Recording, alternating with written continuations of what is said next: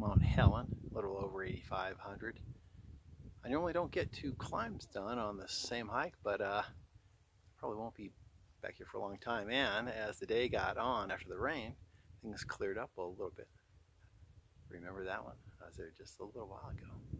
And so, a lot of big ass mountains here. Haven't done a lot in this area, and that's sad. There's tons tons of stuff here. So looking pretty good. Scoping out some stuff for the next time around. Pretty quiet up here. So a bunch of sheep bedding down, hanging out. All, all of that like good stuff. Is that St. Nick? St. Nick. Really tough technical climb. So, and there we go.